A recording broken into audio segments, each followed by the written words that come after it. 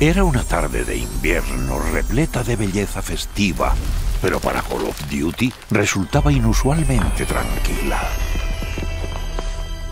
Todos los puntos de interés estaban engalanados y los perros guardianes de renos disfrazados. Al despertar, los operadores abrieron sus regalos, cachivaches y juguetes de todos los tamaños. Luego salieron corriendo a mostrar sus novedades, lo que dio paso a las típicas peleas de Navidades. Ahora corren, saltan y destrozan por ahí todo lo que se interpone entre ellos y su botín.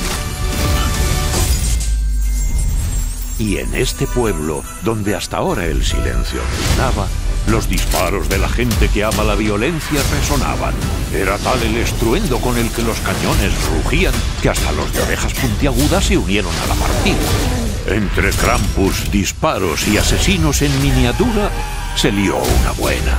Pero todos los jugadores compartieron la buena nueva. Y mientras se enfrentaban en la oscuridad, gritaron... Fervor festivo y buen combate os deseamos.